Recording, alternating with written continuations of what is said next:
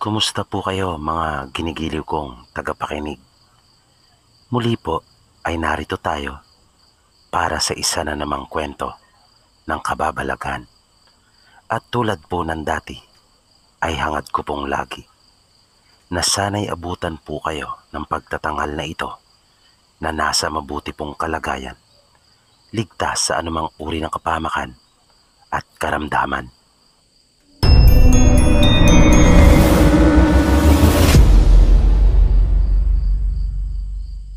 Narito na po yung ikaapat na yugto nung ating kwento tungkol sa mga karanasan ng tsuhin ng isa po nating tagapakinig na kung saan ay isang sundalo. Halina at atin pong sama-samang pakinggan. Ipinagtaka nga ni Kevin kung paano nagkaroon si Andy ng ganong pangitain na siyang naging dahilan para may iwas ang buong tropa nila sa peligro. Maging si Andy ay wala ring ideya na ayon pa sa kanya ay basta na lamang pumasok sa kanyang isipan nang nag-iisa na lang si Andy, ay kanyang kinuha ang lagayan niya ng tubig. At panandalian niya pa itong pinagmasdan. Maya-maya ay binuksan niya ito at inamoy yung tubig na nasa loob. Wala naman siyang napansing kakaiba. Hanggang sa magpasya siyang muli na uminom noon. Matapos uminom, ay kanyang pinakiramdaman ang sarili. Nung una kasi, ay nakaramdam siya na tila ba ng hina at nahilo. Pero sa pagkakataong iyon, ay naging normal lang naman ang lahat. Pero ilang sandali pa, ay bigla na lamang siyang napapikit at sari-saring mga larawan ang kanyang nakita. Mga tagpo na hindi niya alam at hindi siya sigurado kung ito ay mga bagay na mangyayari pa lamang. At nang magmulat siya ng mata, ay nakaramdam siya ng pamamanhit. Hindi siya makapaniwala sa kanyang nararanasan nung mga oras na iyon. Yung tubig na isa sa sinasabing iwasang inumin sa tuwing sila ay nasa labas ng kanilang kampo ay siya pang nagbigay ng mga pangitain at paunang babala na nagligtas sa kanila. Nung mga sandaling iyon ay lubanang nahihiwagaan si Andy sa mga nangyayari. Lagi na lang siyang napapaisip tungkol sa mga bagay na iyon at siya ring dahilan kung bakit nabuhay at umusbong yung kanyang interes sa mga kababalagan at tuklasin pa iyon ng lubusan. Isang araw ay nagpaalam si Andy sa kanilang opisyal na kung maaari ba silang magpuntang sandali ni Kevin sa bayan. Na hindi naman nag-atubili at pinayagan sila. Kinausap na ni Andy ang kanyang kaibigan tungkol sa kanyang plano. Nais niya kasing puntahan si Salve. Gusto niya itong makitang muli at makausap. Sabi pa niya sa kaibigan naroon ang kasagutan sa kanilang mga tanong tungkol sa mga pangitaing kanyang nakita. Kaya nagkakaintindihan silang magkaibigan na hindi talaga sa bayan ang kanilang punta. Paglabas nila ng kampo, bago patakin ang daan, papunta kanila salbe, ay niyaya ni Kevin si Andy sa bahay ng isa nilang kasamahan. Pinakiusapan niya kasi ito na kung maaari ay kanilang mahiram yung personal na mga gamit nito at pumayag naman. Hindi kasi sila uniformado pero kailangan din naman nila ng proteksyon. Nang makuha na nila ang inihiram na baril sa asawa ng kanilang kasamahan, ay agad na nilang tinakang papunta kanila salbe. Naging maingat sila at alam na ang kanilang sasabihin kung may makasalubong man at sila ay tanungin. Nang sapitin na nila ang lugar ng dalaga, nasa bukana pa lamang sila, ay may mga tao na na naroon at tila ba hinihintay talaga ang kanilang pagdating. Kinausap at tinanong sila ng mga ito kung ano ang kanilang sadya na yung paraan ng kanilang pagtatanong ay tila ba pagkukumpirma na lamang. Na parang alam naman na ng mga ito ang pakay nila Kevin at Andy. At ilang sandali lang ay nakita na nga nila ang mag-anak nila Salve at kinawayan sila. Napansin kaagad ni Andy ang magandang muka ng dalaga. Maging yung mga matatamis ng ngiti nito. Masaya siya, naisip ni Andy. Naihiling na rin niya sa mahinang boses na sana ay masaya ito dahil sa siya ay muli nitong nakita. Pagkalapit nila ay pinapasok sila ng mga ito sa loob ng kanilang bahay at sila ay pinaupo.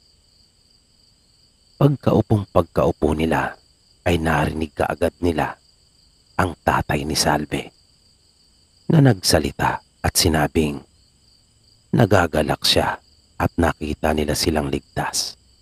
Buti naman raw at kanilang sinunod at pinaniwalaan ang mga pangitaing nakita ni Andy. Biglang nagkatinginan ang magkaibigan at halos sabay na nagsabi na iyon nga raw ang isang dahilan kung bakit sila nagpunta sa kanila. Nangiti ang mga magulang ni Salve at nagwika ang nanay nito na ang akala daw niya ang totoong dahilan ng kanilang ipinunta ay si Salve. Na nakita ni Andy na biglang napayuko ang dalaga na tila ba nahiya Nagulat ang magkaibigan sa sinabing iyon ng nanay ni Salve. Mabilis na sumagot si Kevin at sinabing, iyon po talaga ang pangunahin namin pakay, wika nito.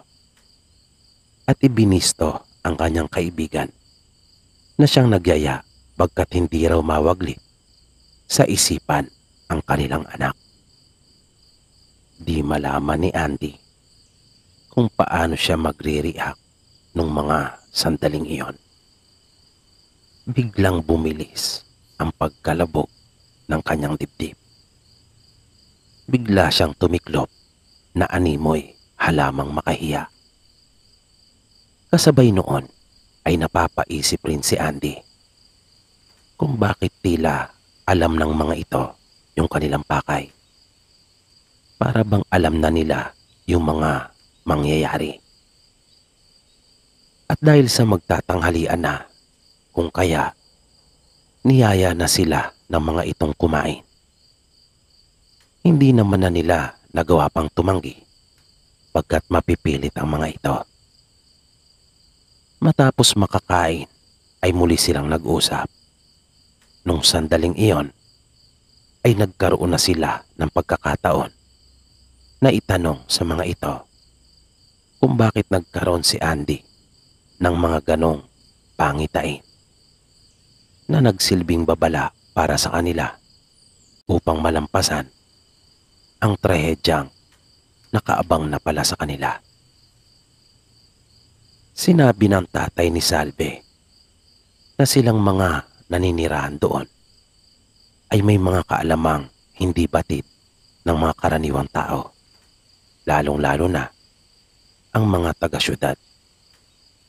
Ang mga kaalamang ito ay nagmula pa umano sa kanilang mga ninuno. At sila ang naging tagapagtaguyod.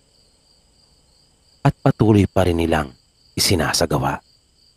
Tulad na lamang umano ng tubig na mayroong orasyon na nagkataong nagawang makabahagi ni Andy nang ito ay manghingi. Kaya biglang napabulala si Kevin at nagpasalamat sa kaibigan. Sinabi nitong utang niya at ng iba pa nilang mga kasama ang kanilang buhay sa kaibigan.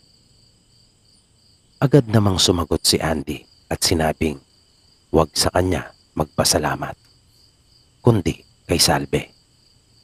Dahil ito ang dahilan kung bakit siya naglakas loob nung araw na iyon. At ginamit lamang na dahilan ang panghihingi ng tubig para lamang makalapit. Kahit mga kabilin-bilinan ni Kevin na huwag iinom ng tubig at kakain ng anumang pagkain na mula sa ibang tao. Muli namang nagsalita ang tatay ni Salve at sinabing tama naman iyon ngunit hindi sila kabilang sa mga laing aswang at manggagaway. Nang mga alas tres na ng hapon, ay saka pa lang nila napansin ang oras. Kung kaya nagpaalam na sila sa kanila. Pagkat masyado na umano silang nawili at baka hinahanap na umano sila ng kanilang opisyal sa kampo. Makaraan ang ilang araw ay napagpasya naman ni Andy na muling magpaalam sa kanilang opisyal. Hiniling niya na kung maaari ay makapagbakasyon siya kahit na ilang araw lang. Hindi na kasi siya mapalagay. Bukod kasi sa mga kababalagang kanyang naranasan na nakapagdulot ng maraming tanong sa kanya, ay di rin mawaglit sa isipan niya si Salve hindi niya maipaliwanag yung eksakto niyang nararamdaman para sa dalaga. At hindi rin niya alam kung bakit siya nagkakaganon. Pero may kung ano nagtutulak talaga sa kanya para puntahan ito. Nang tanungin siya ng kanyang opisyal tungkol sa kanyang dahilan ay sinabi niyang uuwi lang muna siya sa kanila upang bumisita pero ang totoo ay nais lang niyang makita ang dalaga. Ngunit sinabi ng kanyang opisyal na hindi pa niya oras. At mayroon ng mga naunang nagpaalam sa kanya kung kaya hindi raw siya nito mapagbibigyan. Hindi na nakaimik pa si Andy. Nalungkot siya at tahimik na lumabas ng opisina ng kanilang opisyal. Simula noon ay naging kakaiba na ang mga ikinikilos niya. Pansin ito lalo na ng kanyang kaibigang si Kevin. Malimit nga siyang tinatanong nito kung ano raw ba ang nangyayari sa kanya at kung ano ang kanyang problema. Tahimik lang si Andy na ang madalas nitong isinasagot sa kaibigan ay ayos lang. Idagdag pa na sa tuwing magpapatrolya sila ay hindi na nila pinupuntahan ang nayo nila salbe. Bagay na lalong nagpalungkot kay Andy. Hanggang sa tuluyan nang nawala ng gana si Andy sa kanyang mga ginagawa. Lagi rin siyang walang ganang kumain at halos hindi na makatulog sa gabi. Sa maikling panahon ay malaki ang ibinagsak ng kanyang pangangatawan. Hindi na rin nila ito nakakausap. Tahimik lang ito na lagi itong naabutan ni Kevin na tulala. Kung kaya kanila na itong pinatingnan sa doktor na wala namang nakitang problema kay Andy. Normal naman umano ang lahat. Dahil doon ay napilitan na ang kanilang opisyal na siya ay pagbakasyonin na muna sa tulong na rin ni Kevin na siyang nakiusap sa opisyal. At nung huli, hindi lamang si Andy ang pinayagang magbakasyon, kundi maging si Kevin. Pinasama ito ng kanilang opisyal para kanyang maalalayan ang kaibigan. Ngunit nagtaka si Kevin paglabas nila ng kampo pagkat ibang daan ang tinahak ng kanyang kaibigan. At iyon ay ang daan papunta kanila salve. At dito po, pansamantalang nagtatapos ang ating kwento. Muli, sana po ay inyong nagustuhan. At naway patuloy niyo pang subaybayan ang karugtong ng kwento po nating ito. Dito lamang sa mga totoong kwento ng kababalagan. Maraming maraming salamat po at hanggang sa muli.